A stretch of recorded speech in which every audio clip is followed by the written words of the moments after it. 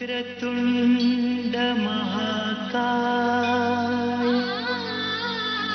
सूर्यकोटि समप्रभ। निर्विघ्नं कुरु मे देव। सर्वकार्येषु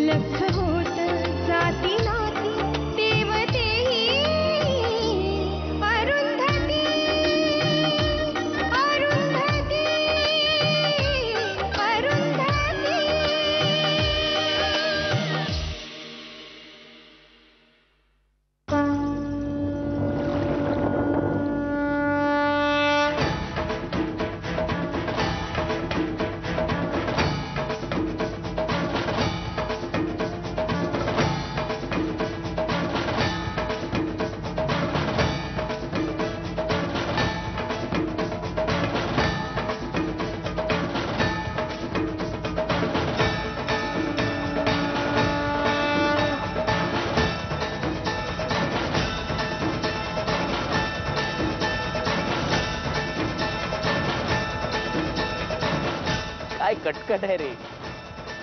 अरे टाळकुट्यानो अशाने देवी नाही प्रसन्न होणार. देवीलाही कळतं कोणाला प्रसन्न व्हावं कोणाला नाही ते.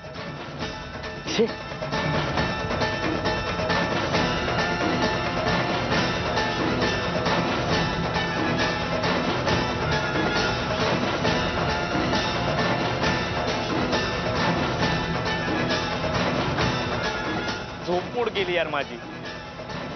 शी.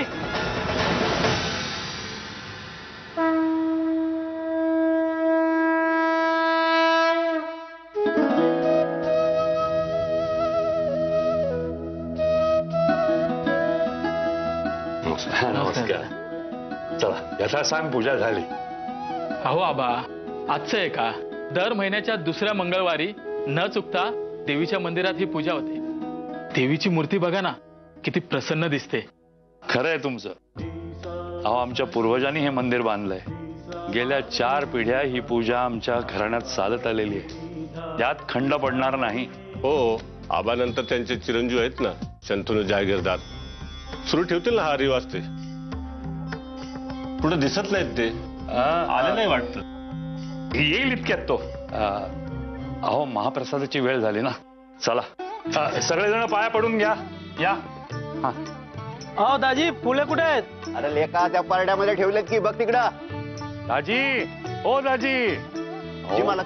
माझा चष्मा मिळत नाही तुम्ही कुठे बघितलात का? हो मालक हल्ली बघा तुमच्या काय बी लक्षात राहत नाही. हो पूजा करताना तुम्ही चष्मा माझ्याजवळ दिला होता. द्या हे बघा हे असं होतं. बरं ते जाऊ द्या. ही पोर कुठे आहे? हो असेल की इथंच कुठेतरी. मग बोलवा ना तिला. तिला माहिती आहे ना की पूजेची सांगता ही त्याच्या गाण्याने होते म्हणून. तरीही या पोरीचा पाय ना एका जागी टिकत नाही बघा. पोरीचा पाय एका जागी टिकलाय का कधी? हो तुम्ही कशाला काळजी करताय? मी आणतो ना. अरे अरुंधतीला बघितलंस का?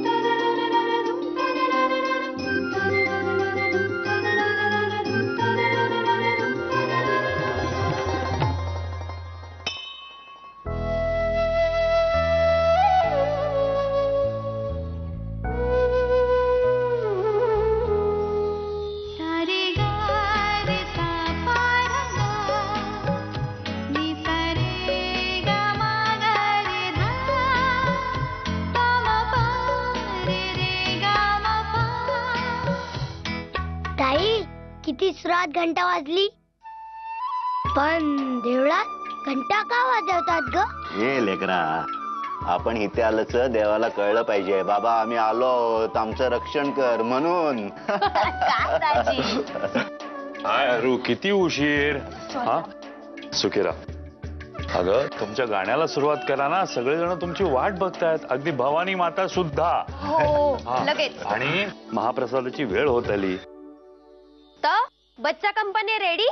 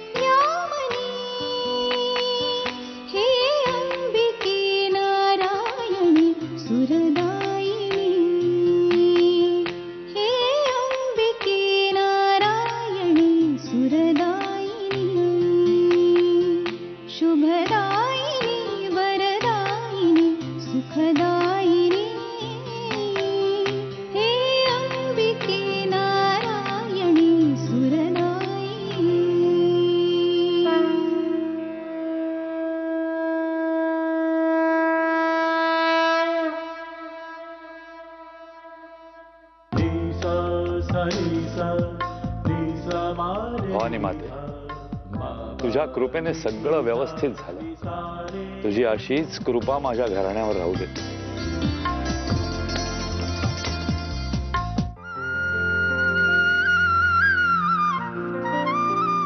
दादा! ए दादा! काय हे? शेवटी नाही झालास ना तू पूजेला? आणि हे काय करत बसलायस? ए थांब मी आलेच हं. छोटे मालक? आज काय? रेडिओची पाळी कुठला कधी सुटलोय तुमच्या देवळात ती कटकट सुरू झाली ना तेव्हा सुटलोय अहो छोटे मालक तुम्हाला सांगतो हो आज देवळातला कार्यक्रम एकदम फर्स्ट क्लास झाला बघा. हो त्यात दुधात साखर म्हणजे आरुताईंची आरती. आणि तिच्या बरोबर ती छोटी छोटी पोरं आरती काय म्हणत होती? वा वा वा वा वा वा. ओ दाजी. कशाला मला सांगताय हे सगळं? तुम्हाला माहिती आहे ना मला याच्यात काही इंटरेस्ट नाहीये. दादा! पूजा घाला दादा! चल खाऊन घे. भूक लागली असेल ना तुला. हे घे. हे नकोय ग मला. आणि हे असं उधारीच्या पैशाने आणलेलं जेवण तर अजिबात नकोय. शांतनो!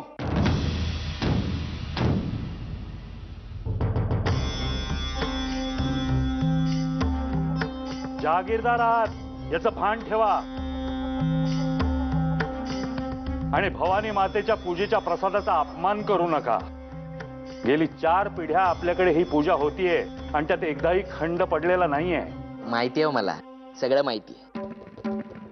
आपल्या घरात काय पैशाचं झाड नाहीये ना? आणि अख्ख्या गावाला माहितीये की हे जहागीरदार गावाकडूनच उधारीने पैसे घेणार आणि गावालाच परत जेवण देणार. त्यापेक्षा तेच पैसे आपण स्वतःच्या कामासाठी वापरले तर काय होते ना? पण नाही. त्या देवाच्या नावाखाली जो काही खेळ मांडलाय ना बस! अंत पाहू नका आमचा. आणि गावकरी आमच्याकडे येतात ना ते स्वतःहून येतात. आम्हाला कोणाच्या दारात जावं लागत नाही. जहागीरदारांच्या चार पिढ्यात असं पहिल्यांदाच होत असेल ना? अख्खं गाव भवानी मातेच्या पूजेसाठी पैसा देत शोभत नाही हो जहागीरदारांना. त्यापेक्षा कशाला ना जी परिस्थिती आहे ती का नाही आपण मान्य करत? कारण परिस्थिती मान्य करण्याने भागत नाही ना. परिस्थितीचं भान ठेवावं लागतं. आणि परिस्थिती तर तुला एवढं पडलंय तर स्वतः काही कामधंदा का नाही करत रे? पण नाही आपल्याला काय येतं? घरात बसून लोळता येतं टीव्ही पाहता येतो हॉटेलात खाता येतं आणि तेही उधारीचं खाता की. आणि आम्हाला सांगता की हे रूढी आणि परंपरा सोडून द्या म्हणून. पण मी जोपर्यंत जिवंत आहे ना तोपर्यंत या रूढी आणि परंपरा अशाच चालू राहणार. खड्ड्यात गेल्या तुमच्या परंपरा. म्हणजे तुम्ही कर्जाचे डोंगर रचत जायचे आणि नंतर आयुष्यभर आम्ही त्याच्या ओझ्याखाली दबून राहायचं. अशानेच या रूढी परंपरांनीच बर्बाद झाले जहागीरदार. आणि काय मिळालंय तुम्हाला? सांगा ना काय आहे तुमच्याकडे? काय आहे? हा घाण पडलेला वाडा आणि ती पडीक जमीन. हा गावात फक्त शान आहे ती पण नावापुरतीच हा? आणि जहागीरदार हे नाव सुद्धा नावापुरतंच राहिलंय. निदान शेवटचं कार्य तरी आम्हाला कर्ज न काढता करता यावं असं काहीतरी करा. दादा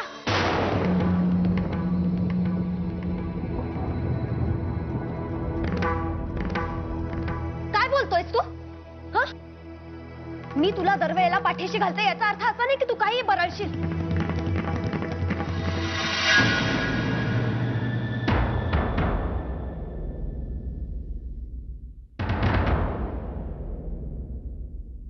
आबा तुम्ही तरी शांत व्हा ना.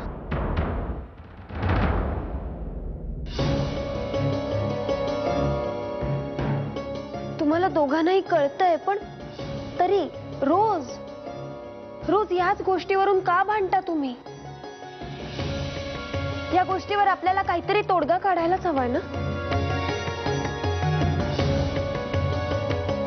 दादा जी शक्ती आणि वेळ बोलण्यात खर्च करतोस ना तेच काम करण्यात घालव आणि मग बोल ना. मी आबांची बाजू घेत नाहीये पण तुला काय वाटतं त्यांना कळत नसेल का? म्हणून काय त्यांनी फक्त विचारच करत बसायचं? ते निदान काहीतरी करतायत तरी. तू तेही करत नाहीये.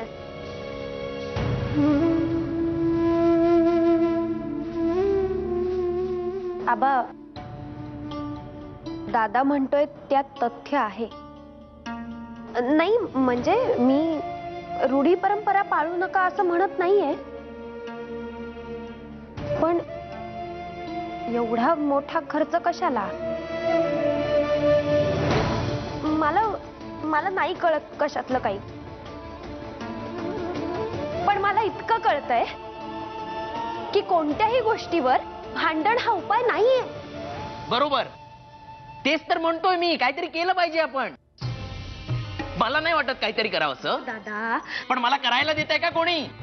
किती वेळा सांगितलं ती डोंगराजवळची जमीन आहे ती द्या मला विकूया बिझनेस करूया. अरे खबरदार संतनो खबरदार त्या डोंगराजवळच्या जमिनीबद्दल एक शब्द जरी तोंडावर आणलास ना ऐकलंस? ऐकलंस ना? कवटाळून बसा त्या जमिनीला.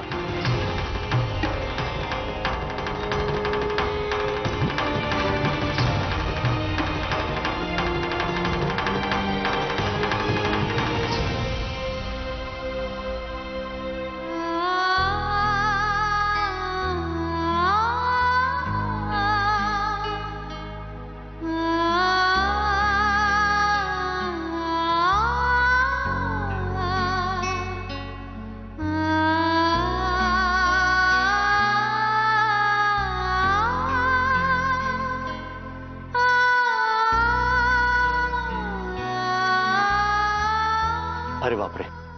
डोकं लय तापलंय घे. अरुताई पाणी पी. डोकं शांत होईल तुझं. आजी. अरुताई अगं आज बऱ्याच दिवसांनी त्या दोघांना बोललीस. गावातली समधी लोक तुला शांत आणि लागवी समजतात. पण बोलायला लागलीस की तुकडाच पाडतेस बघ. कधी कधी असं बोलावंच लागतं दाजी. दोघही एकदम टोकाची भूमिका घेतात आणि मग मागे बिलकुल हटत नाही.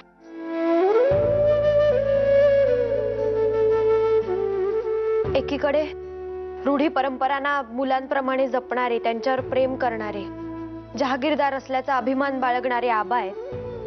आणि दुसऱ्या बाजूला सतत मोठ्या छायेत खुरटलेल्या रोपट्यासारखा माझा दादा आहे.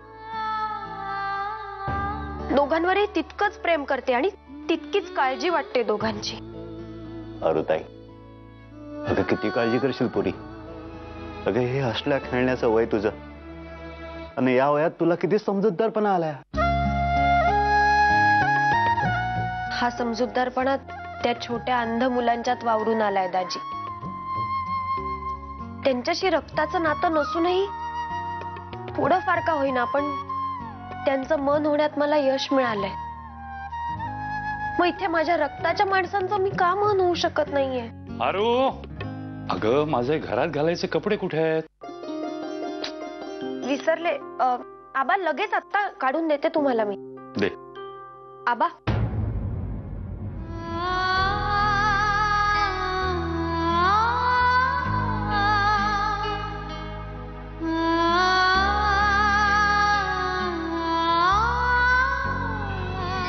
आबा माझ्यावर रागवलायत ना? तुला माहितीये पोरी मी तुझ्यावर कधीही रागवणार नाही. माझं लाडाचं कोकरू आहेस ना तू?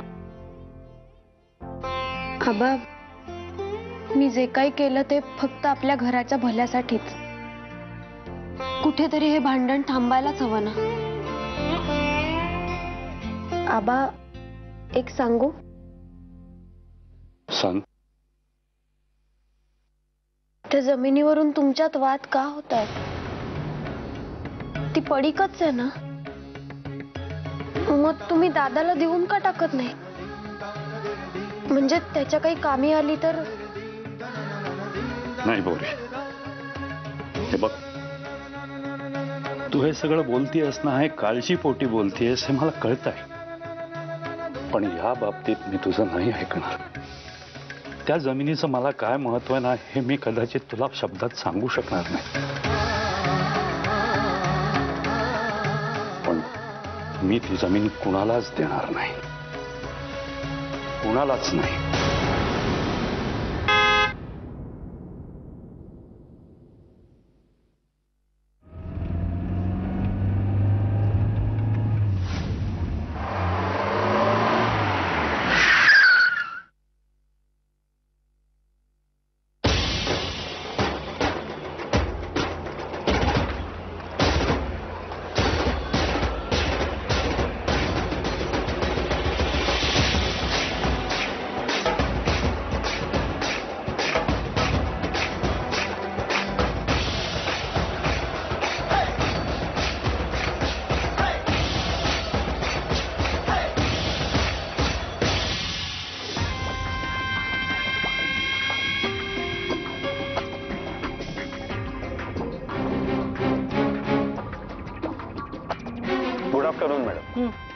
मागच्या आठवड्यात आपल्या टीमनी सोनपूरला जी व्हिजिट दिली त्याचा हा रिपोर्ट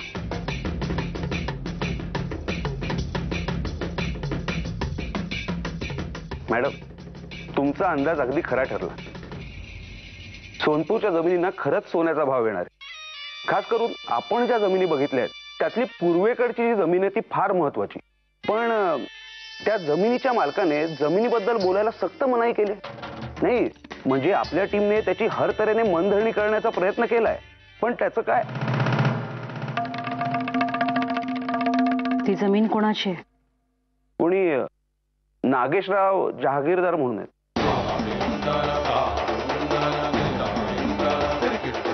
आमची तिथे जाण्याची व्यवस्था करा. मॅडम लेट मी हँडल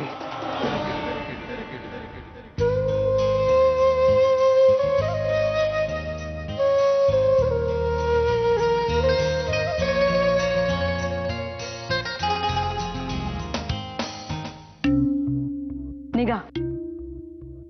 राहू दे आमच्याकडेच.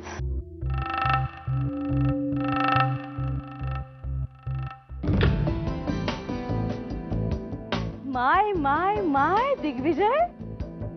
अरे काय छान दिसतोय आपण आज इंटरव्ह्यू द्यायला चाललोय चॅनलमध्ये मुलगी बघायला नाही? मम्मा. हा पण इंटरव्ह्यू बघणाऱ्या सगळ्या मुली घायाळ होणार हे नक्की. मम्मा आपण निघायचं काम उशीर होतोय. लेट्स गो सरळ चालत ये हा? आवाज ऐक. बरोबर सरळ ये सरळ ये. बरोबर. सरळ सरळ चालत ये. किशोर. लागलं? रडू नकोस आणि शांत हो बरं आधी. ताई मला नाही माहीत. मी तिसऱ्यांदा पडलोय आणि मला नाही जमणार. शांत हो आधी शांत हो बरं. मला जमणार नाही असं म्हणायचं नाही. असं ठरलंय की नाही आपलं? मग? असा नियमच आहे इकडचा हो की नाही? मग? आणि अरे डोळे असलेली माणसं सुद्धा पडतात त्यांना सुद्धा ठेच लागते. उठ उठ चल मला दाखव बरं प्रयत्न करून आणि मस्तपैकी चालून. आणि तुला माहितीये का? त्या मडक्यात चॉकलेट आहे चॉकलेट खायचंय ना? ह? शब्बा शाणा मुलगा आहे. चल चल चल. बरोबर बरोबर. ये ये ये ये. बरोबर शोध शोध शोध. सापडला? अरे वा!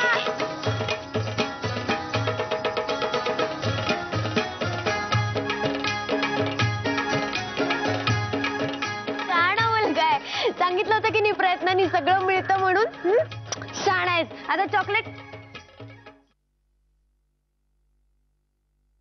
द्या इकडे ते चॉकलेट मला हवं हे चॉकलेट मी म्हंटल ना मला द्या चॉकलेट म्हणून. बाई हे चॉकलेट माझ्या आवडीचं आहे. आणि हे मी नाही खाल्लं ना तर मी उपाशी मरीन. प्लीज बाई द्या ना. नितीन चॉकलेट दे. नितीन ताई पकड त्याला. ताई पकड. नितीन मला चॉकलेट ताई पकड. अरे काय नितीन? केवढा उशीर केलास आज? आज पूजेला पण हजर नव्हतास आणि. आज एनजीओ ची मीटिंग होती माहितीये ना? नाही तुम्ही विसरला असाल तरी मला नाही विसरता येणार ना? हो रे खरंच विसरले मी पूजेच्या गडबडीत. शे बरं कशी झाली मीटिंग आणि काय विचार केलाय त्याने? आपल्या अंधशाळेचा विकास बघून खरंच खूप बरं वाटलं त्यांना. असं सेल्फलेस काम करणारी माणसं फार कमी आहेत असं म्हणणं आहे त्यांचं. आपल्या रिक्वायरमेंट्स दिल्यात त्यांना. फाईल पुढे गेली आहे बघूया काय होतं. गुड आणि हे सगळं तुमच्यामुळे होतंय मॅडम खरंच खूप लळा लावलाय पोरांना. मी ठरवलंय आपल्या शाळेचं स्नेहसंमेलन करायचं. वा म्हणजे एक टेन्शन संपत नाही आणि दुसऱ्या टेन्शनला आमंत्रण दिलंस ना. आवडतं रे मला हे सगळं. आयुष्याचा भाग झालाय आता हे सगळं. आणि मी ठरवलंय स्नेहसंमेलन करायचं. मग हजारो प्रॉब्लेम्स काय येईना लढीन मी. आणि हो तू आहेस ना माझ्या बरोबर काय? आहेस ना? हो आहे ना. किशोर? अरे!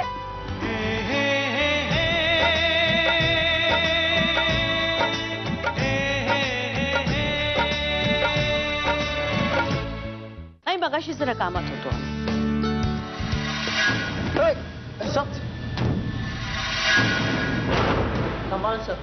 डोंट टच हिम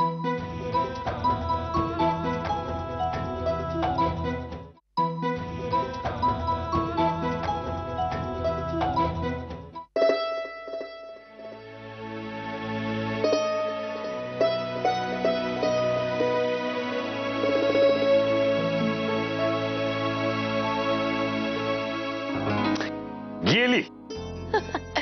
आबा तुम्ही पण ना.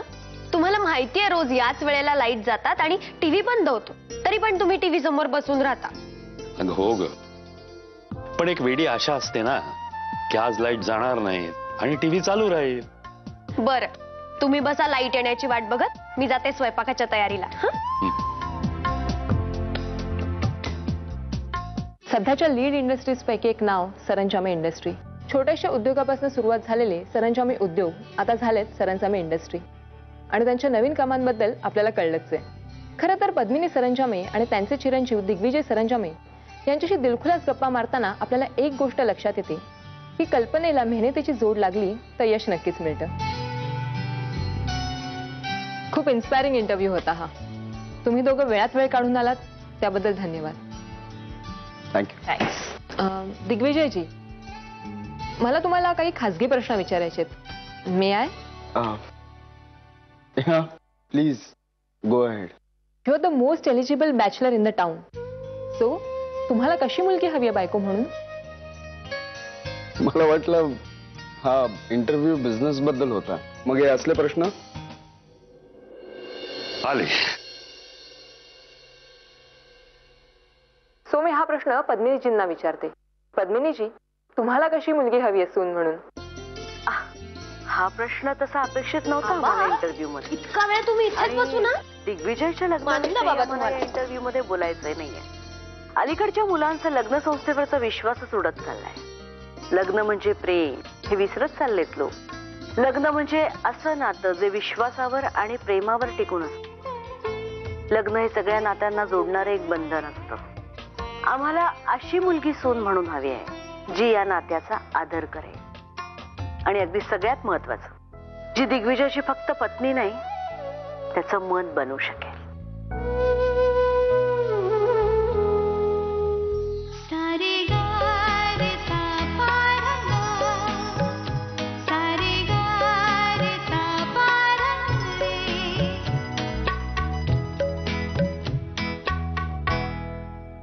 थँक्यू सो मच पद्मिनीजी आणि दिग्विजयजी थँक्यू थँक्यू वेळात वेळ काढून आल्याबद्दल आभार. चला let's go Digvijay. Bye hello बोला. नाही मगाशी जरा कामात होतो.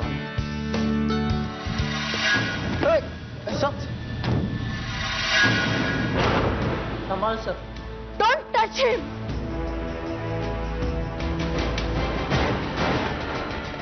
कशा टाकल्यात त्या वायर्स कोणी माणूस अडकवून पडेल त्याच्यावरून. चल दिग्विजय